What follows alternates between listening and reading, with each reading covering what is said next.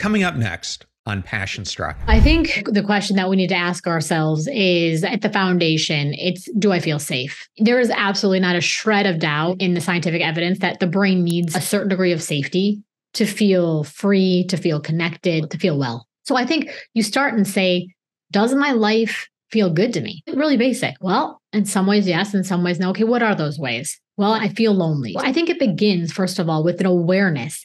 And one of the things about trauma and the biology is when we feel really bad, the nervous system is so intelligent. It says, okay, let's not feel so bad. Let's avoid. So let's avoid either through alcohol, let's avoid through overworking, let's avoid through focusing on other people's problems so we don't have to look at our own.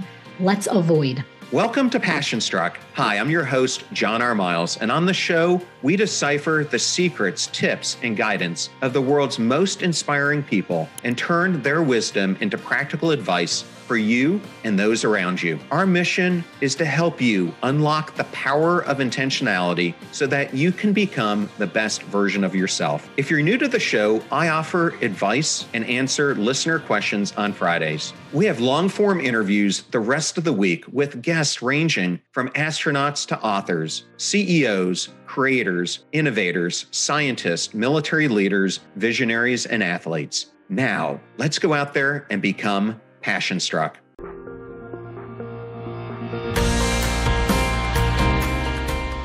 I am absolutely honored and thrilled to have Dr. Julia DiGangi on Passion Struck. Welcome, Julia.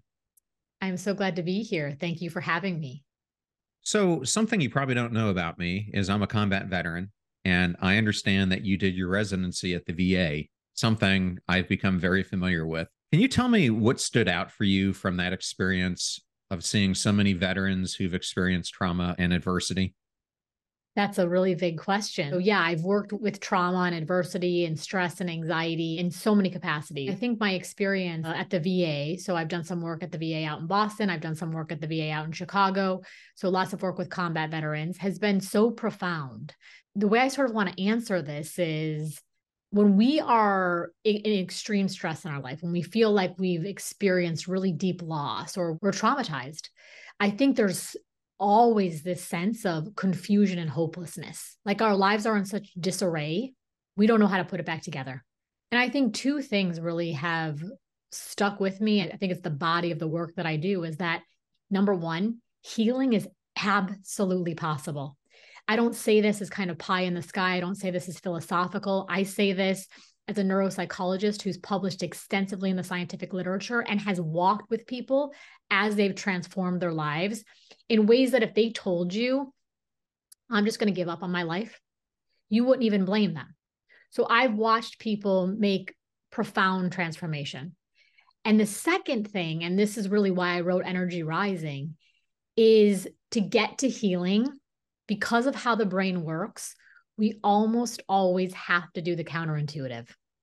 So healing is possible, but it seems so far out of reach a lot of times because the very thing we need to do often doesn't occur to us or seems like the exact opposite of what we should do. And I'm happy to give some stories to really clarify this if that's helpful. Yeah. Well, why don't we do that? Sure. So I have treated a lot of PTSD, both in civilians and I have treated PTSD in combat veterans, as you mentioned. Well, I'll actually tell a story, okay? And I'll call this guy Bill. And I tell the story in Energy Rising as well. So Bill comes to see me, and this is a very important piece of the story. He's been back from his deployment for many years, okay? So I say, Well, what's been going on? And he basically says, Well, I've been avoiding my life. I've been avoiding restaurants and public spaces. I avoid movie theaters. I trauma happened in the context of a convoy, so I don't drive. I avoid people. I, you know, one of the symptoms of PTSD is irritability and frustration and irritability and anger. So I avoid people. He had gotten fired from a couple of jobs. And most painfully, he was pretty estranged from his family. Little kids are very hard on even healthy nervous system, the noises they make, the constant demands, the so there was a lot of sort of issues in the family. And so his wife and his kids had left. He comes to me many years later and says, So I've tried all of this avoidance to try to get myself to calm down. The driving felt scary, the people felt frustrating. The so if I could just keep avoiding them, I thought I could solve my problem. But it's not working at all. oddly, the exact opposite it seems to be happening. The more I avoid, the worse I feel. So, part of the reason I'm so willing to do conversations like these, I, I feel very honored to be a guest on your show, is because I am on fire for educating people about how the brain works and how we achieve resilience, whether we're talking about massive trauma or we're talking about ordinary stress in our life. And that's a very important piece that I want people to get when I tell this story is this is going to be an extreme story, but if it works at the most extreme forms of human suffering, of course there's pieces for us to take away regardless of where we are in our journey. So I say to him, first of all, I want to normalize all the avoidance. I think that's a very on some, the brain's trying to be very intelligent. Don't touch that. Don't look at that. Don't go there. Let's protect you. Okay. So it's very normal. Second, there's no shame in this. Okay. It's just the neurobiology is trying to move to protect you. But the third thing is this, and this is where the counterintuitive comes in. All that stuff you've been doing is not working. And so we now need to do the opposite. So we're not just going to try to avoid people, places, and things. We're actually going to talk specifically about your trauma we're going to talk about it in detail and we're going to talk about it over and over. And he's like, What are you talking? Like, I just told you I'm trying to do the opposite of this. Fortunately, and this is where I think scientific evidence can be so healing, there's a massive amount of scientific evidence that supports the treatment that I'm describing. And I say, obviously, the decision's yours. We can do this together. So he's very brave and says, I'm going to give it a shot. So we're not processing kind of trauma amorphously. We're actually speaking about one very specific instance and we're going oh. over it and over it. Now, remember, this man has been back for many years. About week 12, he comes into my office and we had recorded him talking about the trauma. He'd gone home and listened to it. He holds his phone up in front of my face and says, I can't listen to this thing one more time. So I'm like, sit down, tell me what's going on. And he says, Doc, every time I listen to this recording, I fall asleep. It is dull as shit. So every time I tell that story, it's so meaningful to me. And I've done this with many, many people at this point in time because the thing that had previously traumatized him so much, he had shrunk his entire life to try to avoid the feelings in his own nervous system, is now so inoculated, it's so diffused, the energy is gone that it's so boring, it lulls him to sleep. If transformation can happen at that level, transformation can happen to us all. But the thing is, number one, I have to be committed to my healing. Okay. I think a lot of us are. But the other piece that a lot of us miss is because the brain is a pattern detector, it tends to do the same thing over and over and over and over and over and over again. Even though you have tons of evidence, it's not working. And so a lot of times we have to do the counterintuitive. First thing I'm going to say is prolonged exposure therapy really sucks. It was one of the hardest things I've ever had to do. And I think what's even harder is when you're asked to pick one trauma experience. I was always asked, pick the most traumatic experience. I'm like, how am I supposed to do that? Because I have had sexual trauma, I've had physical assault trauma, I've had multiple combat trauma. And like, how do you pick one was so difficult for me. But I was doing what uh, this gentleman you described was doing. I had gotten out and was on the surface what someone would see as a normal functioning human. Mm-hmm. And in fact, I was an extremely high achiever, youngest vice president in a Fortune 50 company, youngest person to make partner in a big four consulting firm, CIO of a Fortune 50 company before I was 40. But inside, I was disguising and putting a mask on all the pain who I truly was, yes. who I truly were, and I was showing up as someone completely different to everyone around me.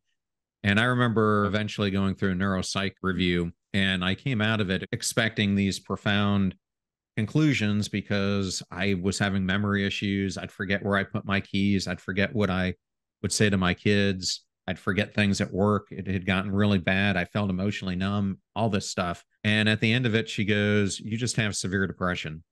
And I have to tell you, I was so pissed off coming out of that that it really launched me into a period of first I went through denial, but then I went through really some my own personal soul searching. And this was on the outside. And it eventually led me to the VA because I said, if I'm not getting the help I need out there, then I got to just put myself in the epicenter and get it from people who understand what veterans have gone through. And so by doing that and then going through cognitive behavioral therapy, prolonged exposure therapy, MDR, you name it, um, I mean, it took a long time, but I wouldn't be here talking to you today and talking about the things that I've went through had it not been for that. And a big reason that I do this show is because I'm trying to help people not do the foolish things I did, which was wait so long to take action because my life could have been so much better and I w- would have been in a better place in my relationships, my mental health, my physical health, my relationship health, spiritual health, everything. So I just wanted to bring that all up. Well, I think what you're saying and the fact that you're willing to model yourself like this is so profound. I have so many things to say in response to what you said. When I did my internship at the VA, so you do an internship before you get your PhD in psychology, one of the things that I really realized is because exactly what you said is true. So, one of the things we know about trauma is most people actually don't experience, and this is a scientific finding, don't just experience a trauma they experience this trauma and that trauma and that trauma. And then this becomes all the more complex when we had childhood trauma. So you're thinking about the brain, the entire infrastructure of the brain is just being built at an astounding rate. So, what does that mean then if I had lots of childhood trauma and the very people who I'm supposed to be able to trust to take care of me are dangerous? So, it, you're absolutely right. It's like, we can talk about trauma like it's this kind of neat thing, but it almost never is. But what I do find is that, and this is again another very counterintuitive idea, but I think when people get it, it's so healing. Okay. And these are the reasons that I wrote Energy Rising. We tend to pay a lot of attention to our situations. So, the thing that you said to me on Tuesday, the thing that happened to me in 1987, the thing she did the other day, the thing they said on social media, it's like situation after situation after situation. But the problem with that is that no matter how much you focus on your situations, it's never going to get resolved until you focus on the very energy that's giving rise to your situation. And by the way, when I say energy, I'm not talking metaphorically or metaphysically emotions are quite literally a neurologic energy. I am a neuropsychologist, extensively published in the neuroscientific literature. So these are these neural zing, zing, zing, zap, zap, zaps that create sensation in our body that then drive behavior. So we think, okay, if I could fix the situation, I could fix the feeling. And also, by the way, there would be no situation until I had a feeling. In other words, if you said something and I had no emo I wasn't offended by it or I didn't think it was funny. It would just zoom past me. There, my brain would literally not encode it. Okay. So I think a lot of times people are like, oh my God, there's been so many complex situations in my life.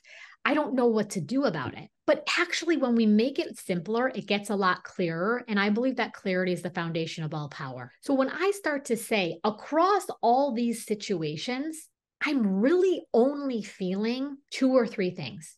So imagine the bad situations in my life. I'm feeling anxious about it and I'm feeling sad. I'm feeling angry about it and I'm feeling sad. I'm feeling embarrassed about it and I'm feeling anxious about it. Like it's not, you could have an infinite number of situations, but they're all kind of mapping on to these really core emotional experiences. And in Energy Rising, I distill the emotional experiences down so simply to two things emotional pain and emotional power by emotional pain, any feeling, I don't care if you call it rage or irritation or frustration or inadequacy or shame or embarrassment or awkwardness or upset, any negative feeling in your body is emotional pain. And I totally understand that this exists on a spectrum. Okay. There's mild irritation all the way up to rage. And then on the other side of that, there is emotional power, confidence, resilience, connection, self assuredness. In other words, my inherent sense of my own goodness so, do you see how already, if I start to think, wait a second, I don't have to necessarily figure out how to fix XYZ a million numbers long. I could just figure out how to work with my nervous system and solve for this one feeling that would invariably transfer across situations. The whole premise of energy rising is really this the horrible feelings that we all feel in our body despair, disappointment, fear, anxiety. They are not here to torment us. They're actually calling us into our next level of power. When I know what to do about my feelings of inadequacy, I'm truly unstoppable. When I diffuse the power of shame over my life, I am truly unstoppable. A lot of us are coming to it backwards. We're not being counterintuitive enough. In other words, we try to say, like, to your point, if I become the youngest partner in the firm, if I become the CIO, if I make the most money. In other words, if I do enough out there, I'll save myself from these feelings in here. This is not how the nervous system works. Some days it tickles me and some days it drives me crazy. We pay more attention to the intelligent operation of Chat GPT in our cell phone than we pay to the intelligent operation of the most glorious machinery on the planet, which is our own brain and nervous system. But you got to learn, just like you wouldn't try to drive your car and make it cut your lawn or use a blender to vacuum your family room. We're trying to live our lives asking the brain to do things that the brain just isn't designed to do. It's not how you get to where you're trying to go. And so when you realize this, there's a sense of clarity. There's a sense of, oh my God, I can do this. In other words, it's manageable. The whole thing about stress and trauma, and people miss this a lot, I would argue that the core feature of it is overwhelming confusion. These people were, I can't understand how these people could do this to me. I don't understand how God did this. I don't, there's always, it's not traumatic if it makes sense. Okay. Stress is also always about confusion. If I knew how to get X, Y, and Z done before five o'clock tomorrow night, but it's the sense of I'm overwhelmed. The world is demanding more from me than I have to give, and I don't know how to solve that problem. So we have to, we, when we talk about recovery and resilience, we don't talk enough about the brain's relationship with confusion. And I think another term people use all the time is uncertainty. These are neurologically synonyms, there's no difference. And when I hear what you're talking about and I think about what I went through, the thing that always comes top of mind to me is worthiness. I didn't feel worthy of love. I didn't feel worthy of affection. I didn't feel worthy of success, even.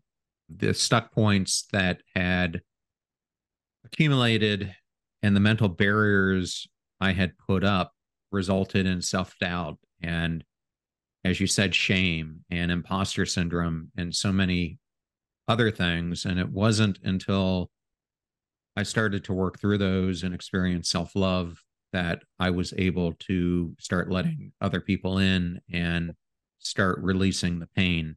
I was, before we got on, I mentioned uh, you talked to a friend of mine, Dr. Stephanie. And in that interview, I heard you talk about this in terms of the concept of pain and power as two sides of an energetic uh, coin, I think you said. Can you elaborate on how this relates to the transformation of pain rather than its Absolutely. eradication? So, first of all, I thought it was really powerful how you said it was only when you came to know your own worthiness that you could really tolerate other people seeing you as worthy. So we have to first have the emotional capacity in our own nervous systems people cannot give other people experiences inside of their nervous system. This is actually a great myth that causes so much pain and dysfunction in relationships. Okay. So when I say every single thing you want in this lifetime is on the other side of the feelings you keep refusing to feel, I think this is the truth of our neurobiology. So, for example, let's go back to the story about the veteran. The feeling, he was trying to run from the feelings. And again, this is very natural. The brain understands pain. If you kind of think of the brain as this very complex computer machine, you know, it has all this coding in it. The brain kind of is like pain is on some level a zero one at this very reflexive and primitive level. Does it hurt? Yes. Okay, avoid it. It's like very simple. If that worked, we should do it all the time. So for example, if I put my hand on a hot stove, I'm immediately going to yank it back. Great. So freaking adaptive. The problem is we try to run that same coding in our relational lives. For example, you said to me something that I didn't like one time. I'm never going to talk to you again. I tried to sell something and nobody bought it in the first five minutes. And that was, I felt embarrassment in my body. I'm never doing it again. I'm shuttering the business. We have arguments with people and we cut them out of our lives forever. So, what I, my point here is like, because we don't know how to intelligently hold sensation in our nervous system because we don't get a lot of cultural education around it. We just try to pretend like it's the hand on the hot stove and avoid, avoid. But the problem is, and there are a couple key points in energy rising. This is one of them, is that if we could perfectly avoid pain, we should do this. We should. I am at my core a pragmatist. But when I look around and I've done a lot of international work, I've been doing this work, depending on how you want to look at it, for 20 years or 40 years. I come from a family with a fair bit of trauma. My father's a psychologist. So I really kind of grew up on psychology and emotional intelligence and trauma. I've never met a single person who said life didn't hurt, not even close. So trying to construct a life where I say there is no pain is like you telling me, hey, Julia, I'm looking to buy a house in the zip code where there is no gravity. I just need this one house to not have any gravity. It's like that sounds like it would take a tremendous amount of effort and be totally fruitless. So when we start to realize pain is an inalienable aspect of what it means to be human just like aging is just like gravity is just like weather is just like time is like it just is I start to say, okay, let me really think in an emotionally intelligent way. And all emotional, intelligence, there's tons of information out there about emotional intelligence. Let me simplify it. All it means is, am I thinking intelligently about emotion? So I say, in a world that promises pain, what is the pain that empowers me the most? And then let me choose that in honor of my evolution, in honor of my healing, in honor of my expansion. So let's go back to the veteran. So he was saying, I am going to try to avoid all this pain. But in the avoidance of the pain, he didn't save himself from pain. That's a really important piece. He was in agony. And I think you're saying that you have experiences that mirror this. So if I say, okay, listen, this is, and I think it sounds like you intimately know these treatments. I think anytime we go to therapy to work on the parts of our life that hurts, when we touch the parts of our life that hurts, they hurt. Okay. There's no, it's not like it's magic. When I start to say, okay, I'm going to face my demons, I'm going to face some of the things I did wrong, I'm going to face the way people hurt me, that is, of course, painful, but the result is healing. To be healed is to be powerful. When I talk about power, I'm not talking about command and control. I dominate. I'm talking about my own experience of my own worthiness and my ability to then, therefore, experience life fully. If I want more self confidence, people say emotions are so confusing. They're not actually that confusing, they're quite mathematical. There's like a physics to emotion. If I want more self confidence, I must come into a new relationship with the energy of doubt. That's going to be a little bit painful, but in that pain, I become more powerful because I become more self confident. Lots of people say they want peace, and then they try to externally control every single thing around them, which just makes them absolutely feel terrible. So if I want more peace, I have to come into a new relationship with the energy of uncertainty. As I start to habituate my system to the energy of uncertainty, that's going to rattle me. When I master that, when my system habituates to that, I get more powerful. I want more connection with people. Well, then I have to be willing to say sometimes people are going to reject me. We're all saying, Can I have the relationship where I promise, promise, for real, Z, no one's ever going to hurt my feelings. This does not exist. And so then we protect ourselves from not getting hurt. But in the process of that, we seal ourselves off from relationships and are perpetually hurt. We're unfulfilled, we're lonely, we're unconnected.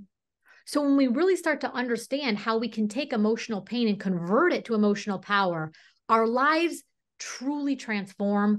We settle down. We, we're able to tr- trust the intelligence of life trust the intelligence of ourselves and trust the intelligence of others.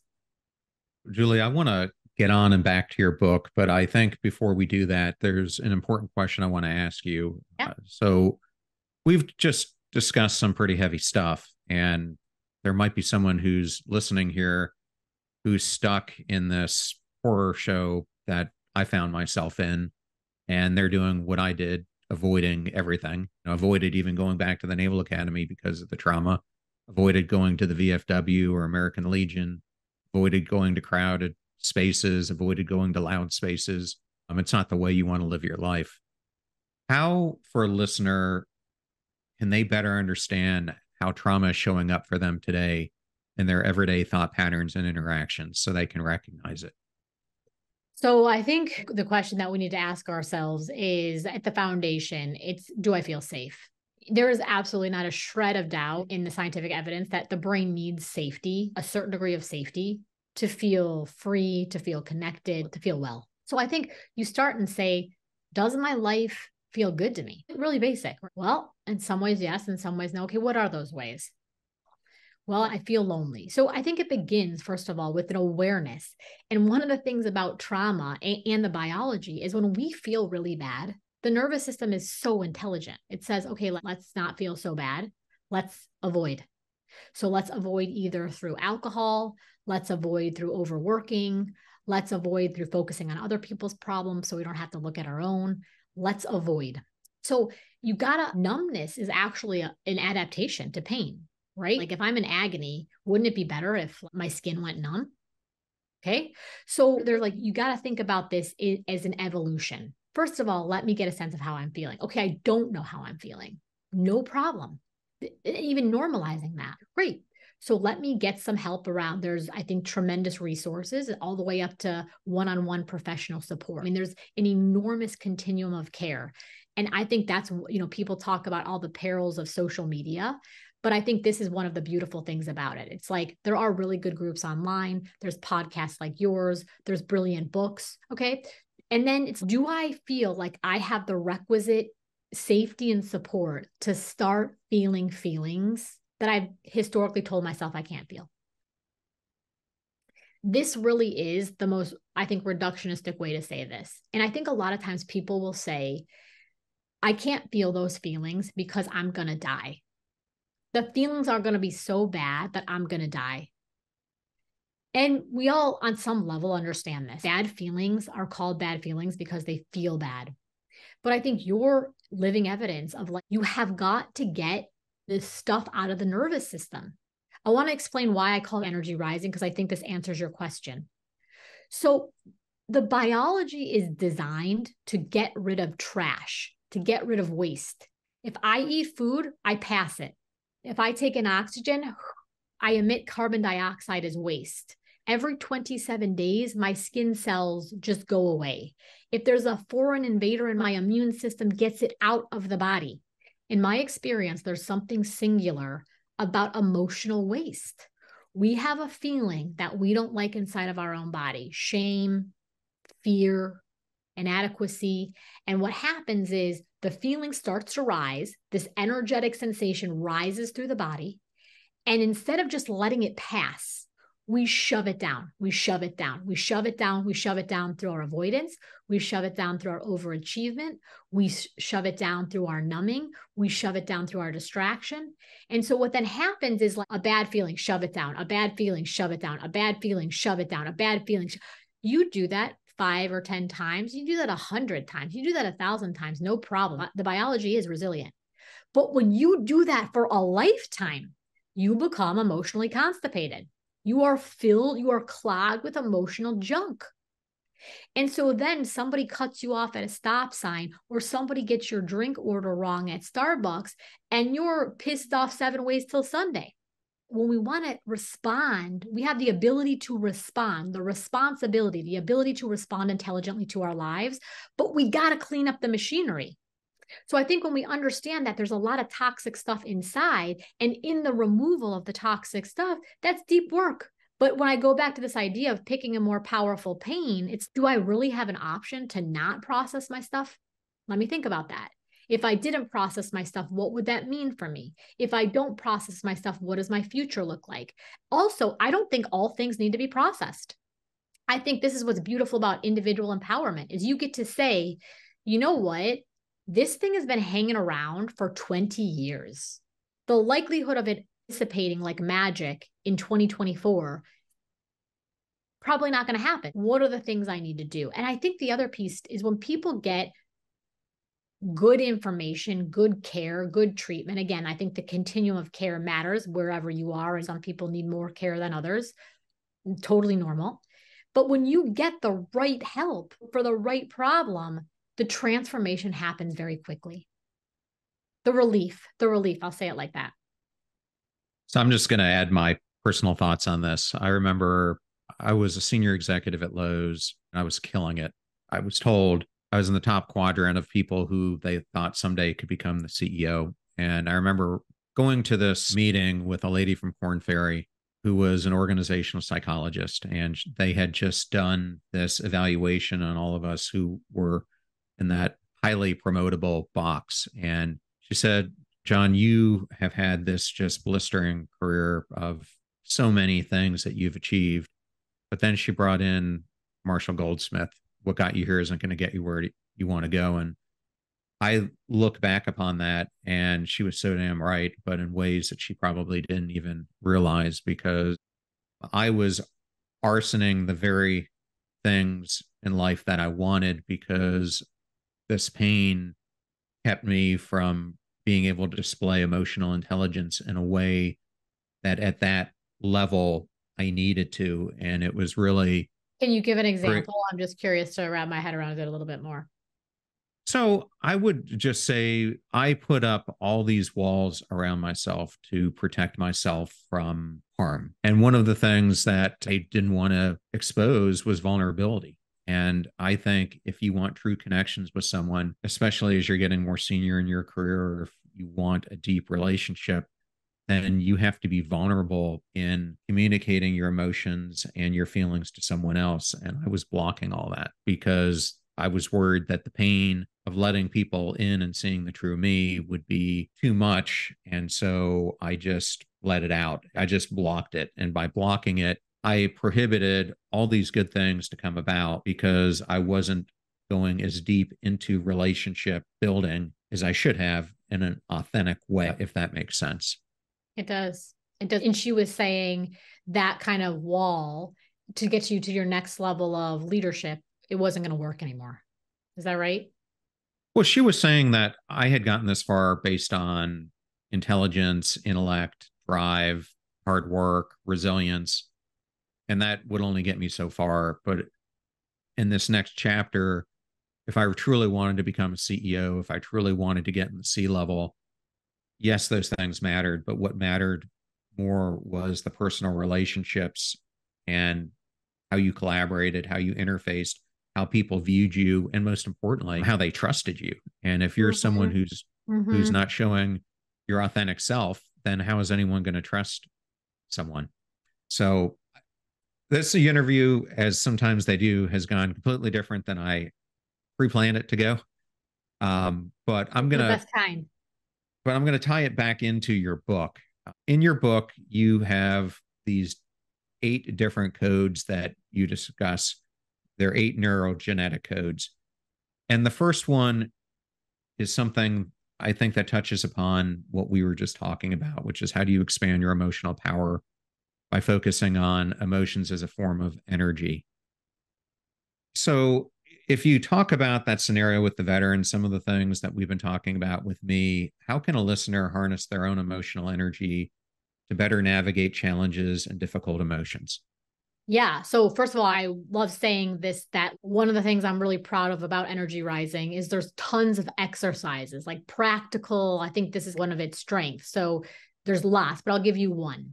So, one of the things is when we think about getting stronger, we're never confused about this on the physical health side. And this is great news. So, for example, if I want to get stronger, I know that I have got to walk if I'm sitting all the time, or if I walk a lot, then I got to run, or let's go to the gym. Okay. So I go to the gym and I can only lift five pounds. And today I want to lift 10 pounds.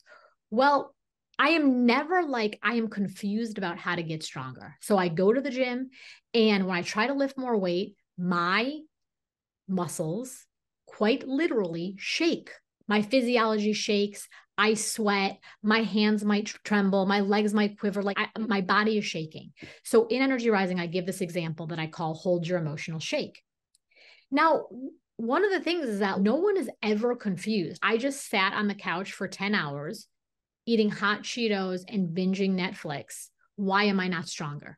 People are like, I know precisely why I'm not stronger, right? I might have not wanted to go, and that might be, but I know how to get physically stronger. Well, the analog, because you're really asking me, is how do we develop emotional power? Is we have to meet more emotional resistance, just like we have to meet more cardiovascular or muscular resistance to get physically stronger. But here's where, and the analog is so strong. Okay. The body is the body, and the habituation of muscles works a lot like the habituation of the brain. So I say, all right, I'm going to like, let's say public speaking. I, I want to express myself more. Okay. That's kind of my, how I would get stronger. And I say, I'm going to come on this podcast. So I book the podcast and then ahead of time, I'm like, I don't, I don't, I don't, this isn't, mm, mm. the anxiety starts to shake my system. I'm like, I don't know. I might sound stupid. I might run out of things to talk about. So I'm quite literally shaking. Now, until we have powerful conversations like you and I are having, a lot of times when we have those sensations in our body, until we understand how to interpret what the cues that the computer is giving out to us, i.e., our brain, we say, oh my God, this is really dangerous, abort mission. And so I cancel the interview. And then I have to compound that because I can't really trust myself. I say I'm going to do things and I don't follow through. And you can just see the implosion. So I have to say, wait a second, if the way bodies get stronger is to meet the physical resistance, I can then meet my emotional shaking and say, this is actually great news. And here's the thing on the physical health side. A lot of us who do work out, whether it's we go for walks or we run or we know our muscles shake, it doesn't feel good. We don't love the sensation of really working out. But even then, there's something satisfying about it. It's like the reason I keep going to the gym is because like when my muscles shake, as much as it burns and hurts and blah, blah, blah, I the shaking is the clearest evidence that I'm getting stronger right before my own eyes. So when if I can hold that intelligence and say, this is how biologies work.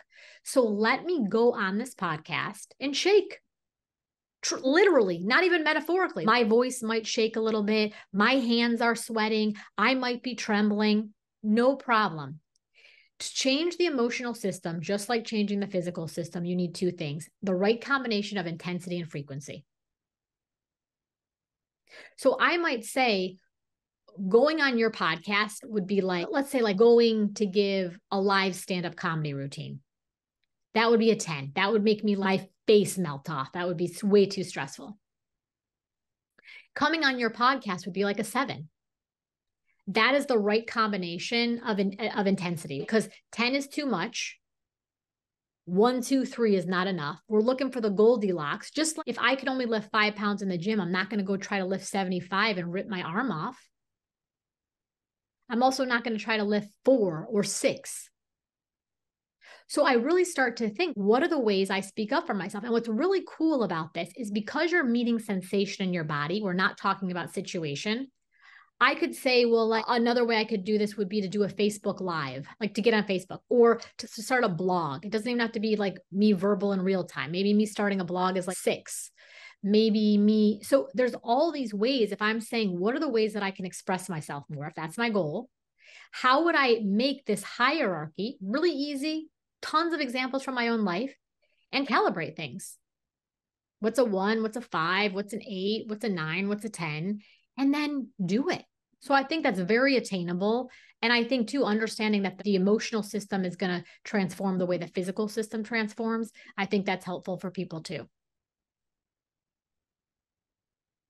Thank you for sharing that, Julia. And we don't have time to go through the other codes, but I'll just give the audience a taste of just a couple.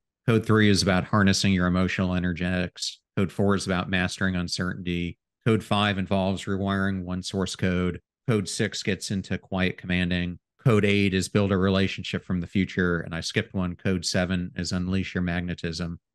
And I wanted to conclude the episode like this uh, You are part of NASA, they've selected you as an astronaut. And oh, I thought, yeah, I was you, like, no, I think we got our. I'm not part of NASA. I get it. It's hypothetical. Hypothetical. And they have selected you to be a neuroscientist on the mission to Mars. And when you get there, you're the first group of people who land on it. And the powers that be say that you can lay an edict for the future of humanity on the planet. What would you set that edict to be if it was through leading with emotional power? Oh my God. I already know. I was like, oh, this one's going to stump me. This one does not stump me. I 100% am clear on this. It would be this to come into a new relationship with the feelings you keep refusing to feel. Because here's the truth of humanity it is not that our problems get too hard, it is that our feelings get too big our lives break down, our businesses break down, our relationships break down, our homes break down at the point of the feelings we keep refusing to feel. It's too frustrating. I'm too excluded. It's too aggravating. It's too anxiety provoking. It's too rejecting. Until we can learn how to more intelligently hold those feelings in a nervous system that, frankly, is designed to hold a lot of energy, the future of humanity won't change. And I believe that if we can understand this conversation about emotional power, emotional intelligence, so much can change on the planet. Wow, what a powerful answer that was, and a great one. If someone wants to learn more about you, discover the different practices that you do, where's the best place for them to go? I am on social media. So I would love to connect either at Dr. Julia DiGangi on LinkedIn, Dr. Julia DiGangi on Instagram, or you can come to my website, doctor, that's drjuliadigangi.com. And I'd love to connect. Well, Dr. Julia DiGangi, it was so nice to have you on today's show and quite an honor and likewise, John. Much different discussion that I thought we would have, but I think a good one for the listeners. So thank you so much. Thank you too.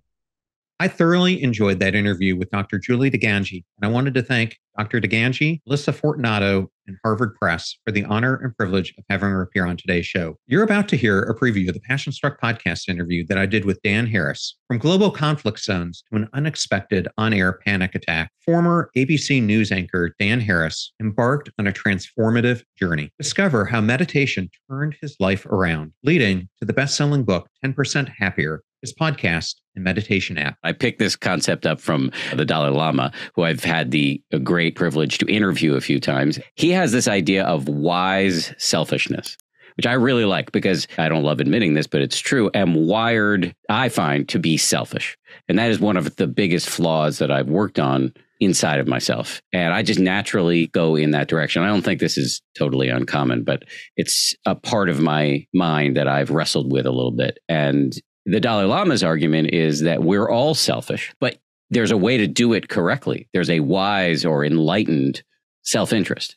And I think what you're describing fits that bill. Because if you can focus on what you're doing that's valuable to other people, in my experience, it makes you less anxious and it improves the quality of your work and will likely, I'm not guaranteeing this, but it's certainly what I've experienced personally, make you more successful. Remember that we rise by lifting others, so share the show with those that you love and care about. And if you found today's episode useful, then definitely share it with someone who could use the advice that we gave in today's program. In the meantime, do your best to apply what you hear so you can live what you listen. Until next time, go out there and become passion struck.